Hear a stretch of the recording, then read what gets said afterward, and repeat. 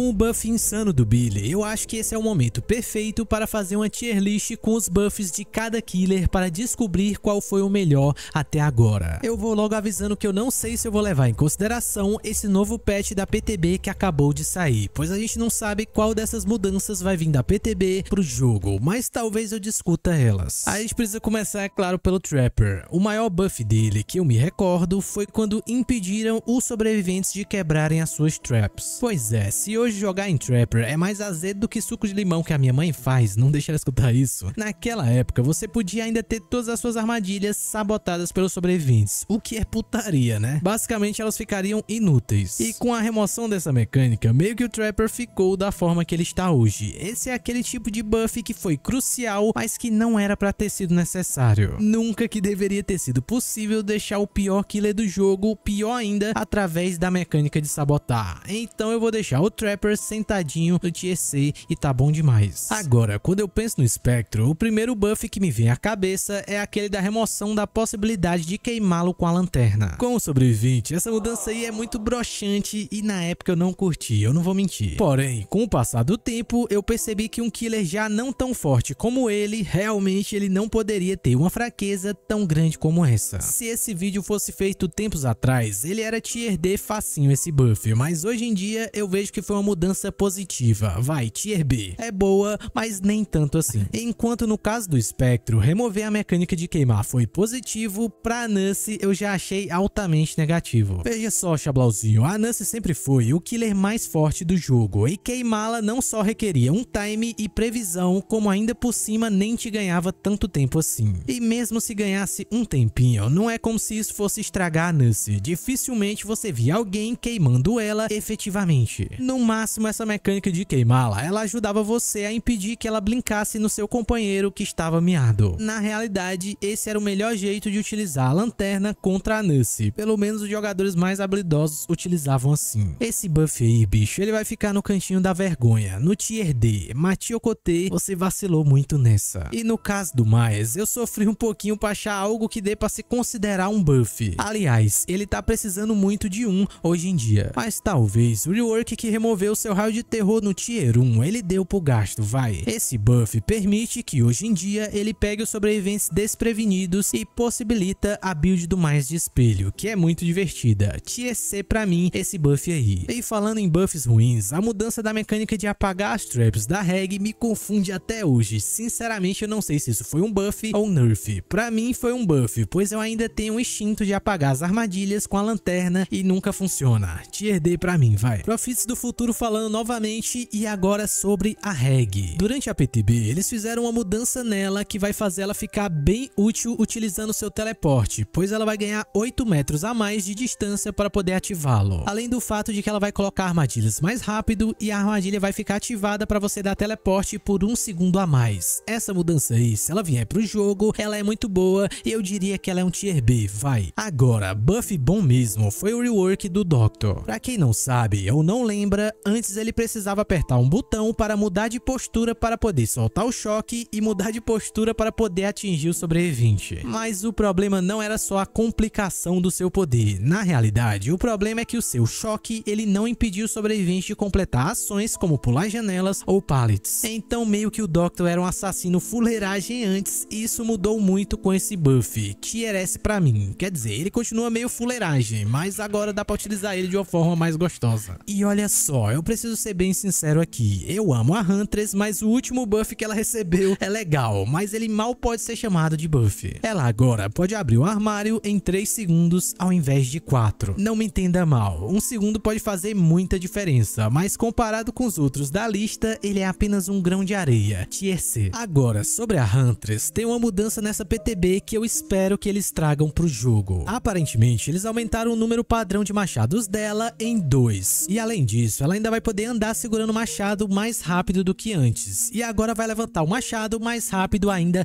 também. São dois addons Basic Kit que ela ia ter se essa PTB vier do jeito que está pro game. É um buff de qualidade de vida insano e se viesse assim, seria um tier A facinho pra mim. Agora, o Buba, ele recebeu um tratamento de realeza no seu buff. Aliás, foi um rework total onde adicionaram um sistema de cargas para ele poder dar serradas curtas ou mais longas. Coisa que você pode não acreditar, mas antes ele não tinha. Além do fato que eles também aumentaram a velocidade que ele anda sarrando e removeram também o sistema onde você carregava a serra e depois apertava para começar o golpe. Agora apenas é necessário encher a barrinha que ele ativa o seu poder automaticamente. Esse buff é um exemplo de como melhorar um killer, não só deixar ele mais intuitivo de usar, como também deixou o seu poder com mais profundidade e skill gap. Dessa forma aí, bicho, todo mundo é beneficiado, tier S. E outro rework de sucesso foi o do Fred. Antes desse rework, o boneco ele era tão fraco que ele não poderia atingir os sobreviventes que estavam acordados. Ele precisava persegui-los e botá-los para mimir. Só aí ele poderia golpeá-los. Não me direi palavras, antes ele era horroroso, pior do que bater em mãe. Mas depois do buff, ele virou o que ele é hoje em dia, que parece pouca bosta, mas segundo os dados atualizados de kill rate, o Fred tá bonito, top 4. Tier S esse rework que buffou ele. Agora, como o rework da Pig foi um nerf, aliás, de nerf ela entende, meio que eu só posso citar o buff que deixou ela indetectável agachada. Esse buff basicamente fez mudar completamente a sua gameplay. É um buff ok, vai, tier B. Foi um buff bom, eu sei, mas ela precisa de mais buffs. Olha, no caso da Pig, eu sei que eu já terminei de falar dela, mas ela vai ter um buff nessa PTB que deixa ela bem mais útil em Chase. E se esse buff vier pro jogo, esse buff que permite ela ficar com 15% mais distância utilizando seu poder de emboscada, isso aí vai ser muito útil e provavelmente é uma mudança muito boa Tier B. E falando em um killer que precisa de mais buffs, o buff mais notável do Clown foi aquela adição da garrafa rosa, aliás, da garrafa amarela. Ela mudou completamente a sua gameplay, aprofundou ela e ainda aumentou seu skill gap. Infelizmente, isso não deixou ele muito mais forte, mas aumentou o potencial dele, então pra mim é um buff muito bom, ele só tá precisando de outro, talvez, Tier A. E no caso do Clown, ele também teve uma mudança nessa PTB que foi insana, bicho. Basicamente, eles aumentaram o número de garrafas de 4 para 6, além de buffarem a sua garrafa rosa, deixando ele ativar ela mais rápido e ela durar mais tempo. É um buff Tier B e se vier pro jogo, pelo menos a gente deixa esse vídeo atualizado, vai ser uma mudança muito boa pro Clown. Similar a Pig, o rework da Spirit foi um nerf, então mais próximo de um buff que ela recebeu foi a diminuição do cooldown do seu poder de 20 para 15 segundos.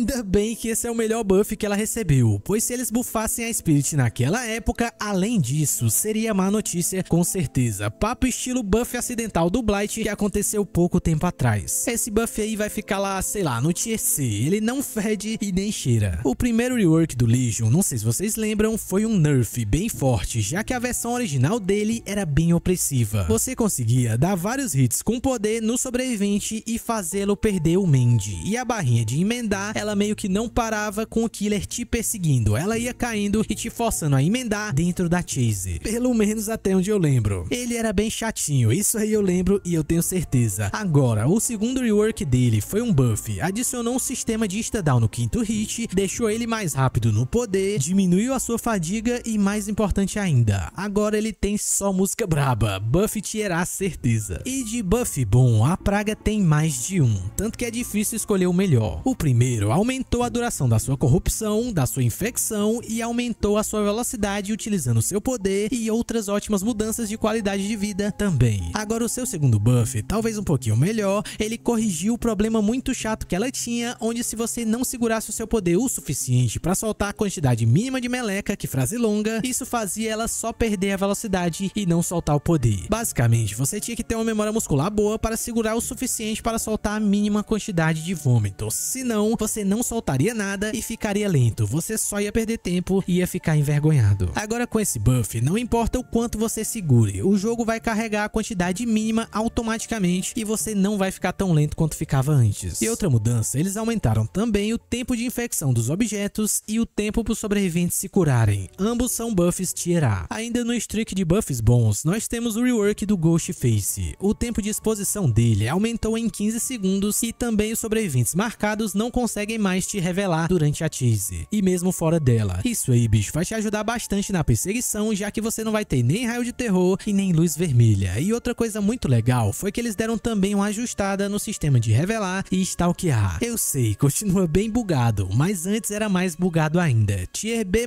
eu só não boto Tier A, pois ele ainda é bugado. O Demogorgon, ele teve um buff que ninguém lembra. Antes ele não conseguia quebrar pallets com o seu poder. Então, eles adicionaram essa habilidade aí, que é muito útil pra ele. Mas na minha opinião, o seu melhor buff foi o rework dos portais que os deixou mais úteis durante a partida. Antes eu nem utilizava eles, Tier B. O Oni, ele teve só um buff, que foi remover o limite de velocidade ao girar enquanto você está utilizando seu poder. Porém, junto com esse buff, que já é minúsculo, veio um limite do quanto você pode girar. Isso aí quase matou os flicks de Oni completamente, mas ainda tem maluco que consegue flicar hoje em dia. Esse buff aí é só de enfeite, bicho, tier D, vai. E outro buff que não é muito buff foi a redução do tempo de carregar o arpão do Deathslinger, simplesmente 0.15 segundos de buff. Tier D, se tivesse um tier F, era lá que ele ia. Ainda numa sequência meio ruim, o melhor buff do Pyramid Head reduziu seu cooldown de utilizar o poder em meio segundo, ao menos é melhor do que o do pistoleiro, tier D acima dele. Agora, para quebrar esse streak ruim, veio um buff sensacional que é o rework do Blight. Esse buff aumentou a câmera dele, que antes era na altura do Vitinho, e ficou muito melhor de jogar com ele, e principalmente corrigiu o problema sério que ele tinha de colisão. Era impossível jogar com o boneco antes desse patch e ter uma partida agradável. Ele ficava preso em tudo que era canto. Ele tinha uma hitbox de uma Hilux. Esse rework aí mudou ele completamente. Tier S fácil. E o melhor buff dos gêmeos é o rework que ainda está por vir, se Deus quiser. Por enquanto a gente vai ter que se contentar com o buff que permitiu que a Charlotte recuperasse o Vitinho. Pois antes desse buff, os sobreviventes eles podiam só segurar ele de mochilinha até a Charlotte ter que derrubar o cara, o que basicamente anulava o seu poder. Tier B essa mudança aí. Agora no caso do Trickster, ele teve vários pequenos buffs, mas o mais importante dele, para mim, foi aquele que diminuiu o número de facas necessário para machucar os sobreviventes de 8 para 6 faquinhas. Um buff Tier C em si, pena que ele foi revertido para deixar ele mais acessível e matou seu teto de habilidade no caminho. Eu não sou muito fã daquele buff, mas tudo bem.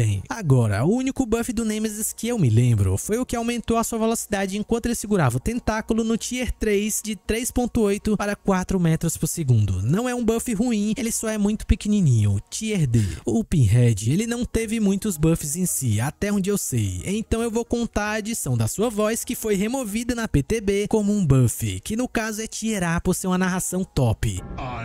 Agora no caso da artista, ela só teve um buff, que é o fato de que você não pode mais queimar os corvos dela, utilizando lanterna ou alguma biribinha. Esse foi um nerf totalmente desnecessário, pois você corria um risco enquanto você tentava queimá-los e precisava ficar parado para fazer isso. Se tivesse um tier F, seria mais preciso. É difícil escolher um buff para Sadako, pois toda vez que mexem nela, ela fica mais esquisita. Dito isso, esse último buff, que aumentou o número de condenação que fica permanente após enganchar o sobrevivente, ele bota uma boa pressão nos survivals. Além do fato de que eles deixaram ela mais rápida saindo da TV também, o que é bom para incorporar em Chase o seu TP. Tier B, nada de mais, nada de menos. A melhor parte desse buff ou esse rework foi que removeu um pouquinho aquela gameplay de condenação. Era muito bom, era muito forte, mas jogar contra era um pé no saco, eu tenho que admitir. O micro buff da Draga fez ela ficar menos visível durante o Nightfall, só isso é D. Agora o buff do Esker, ele foi crucial para deixar ele jogável e meio roubado no quesito agarrão, eu tenho que admitir, pois aumentou o tamanho da sua colisão. É complicado, eu sei, pois antes ele escorregava e não detectava os sobreviventes o suficiente, então esse foi um buff muito bom para ele, Tier A, pois antes dele estava beirando injogável. E o Cavaleiro, ele teve um buff legal, que deixou seu poder mais útil e deu menos informação para os sobreviventes, o que era quase exatamente o que a comunidade pediu. Eles só não acertaram na música, pois ainda tem muita informação que ele deixa o sobrevivente ver. Além disso, agora ele ganha velocidade ao fazer caminhos mais longos, o que incentiva o uso do seu poder. Legal, Tier B, quase A. E esse é meio polêmico, eu sei, mas o segundo rework da Adriana, ele foi positivo, pois ele diminuiu drasticamente a sua capacidade de segurar partidas por muito tempo. Agora, o problema desse rework é que ela ficou meio fraca, mas pelo balanço do universo do DBD, Tier A. Fãs de Adriana, não me apedrejem. Agora, a singularidade, ela só precisava de uma coisa para vir balanceada da PTB pro jogo, um nerf nos EMPs, e foi exatamente o que ele recebeu. A gente achava que o Killer ia ficar muito melhor após um nerf dos EMPs. O problema é que mesmo assim, quase ninguém gosta de jogar com ela ou contra ela. Pois é, então vai um tier B aí. O Xenomorfo, ele não teve nenhum buff ainda, o que é uma ótima decisão, tier S só de zoeira. E o Chuck, ele também não teve nenhum buff, mas pelo nerf que ele recebeu, eu vou colocar ele no tier D como protesto. Mas não não acabou ainda, eu não podia esquecer o buff recente do Hillbilly, é claro. Cara, com o histórico que ele tem de ter recebido o nerf mais injusto da história do jogo, esse último buff dele pareceu muito merecido, mesmo que tenha passado um pouquinho dos limites. Aliás, dizem isso, eu não acredito que nada passou do limite, tanto que você vai dificilmente ver alguém chegar no topo do teto de habilidade dele, que parece ter aumentado ainda mais com a possibilidade de dar curvas mais fechadas ainda e mais longas ainda. Pois é, vai ser muito difícil você ver um Billy roubado por aí, pois ele tá mais difícil ainda de masterizar. A decisão de remover o sistema de esquentar e aumentar o overcharge foi uma das melhores mudanças do DBD e reviveu um killer morto. E é exatamente por isso que ele toma o topo da nossa lista como o melhor buff que nós já tivemos. História de superação top. Agora, eu preciso falar sobre o elefante na sala. Todo mundo quer saber do novo killer do DBD e eu vou estar testando ele hoje em live assim que ela lançar. Talvez você esteja assistindo esse vídeo e eu já esteja lá. A live vai começar mais ou menos uma hora ou duas horas, que é quando o killer vai ser liberado na PTB. Por enquanto, dá uma olhada no vídeo que tá na sua tela com os killers que eu queria que viessem pro jogo. Tem alguns que surpreenderam até eu mesmo, que tinha esquecido do que eu tinha escrito no roteiro. Beba sua água com seus vegetais e nunca deixe de ser essa pessoa maravilhosa.